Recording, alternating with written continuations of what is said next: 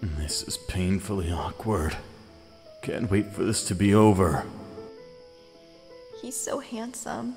Can't wait for our wedding day. It's going to be magical. Uh, so, how are your studies going? Studies are going okay.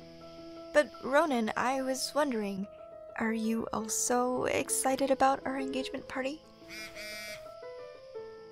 Huh, yeah. The engagement party. Definitely looking forward to it. Should be, uh, huh, quite the celebration. I'm looking forward to it too. It's going to be a, um, special night. Shit. I care about Stella. But marriage? Never imagined it. Gotta find a way to make this work somehow.